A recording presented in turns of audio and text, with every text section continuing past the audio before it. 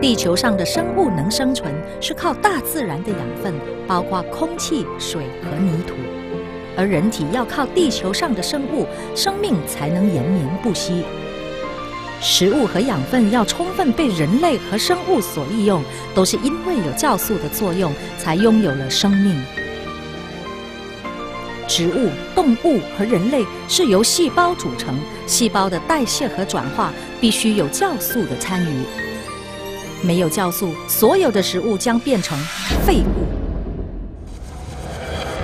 没有酵素，体内一切机能立刻停止活动。没有酵素，就没有生命。我们每天所摄取的食物必须经过酵素的分解，转化成人体所需要的营养素，再通过血管输送到身体每一个部位。如果缺少酵素，吃再多的食物也无法取得营养。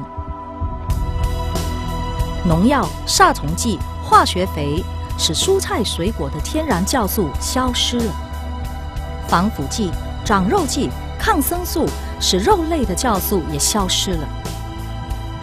现代人在乎口感，将食物再加以高温烹调，食物中所有的酵素几乎都被毁灭了。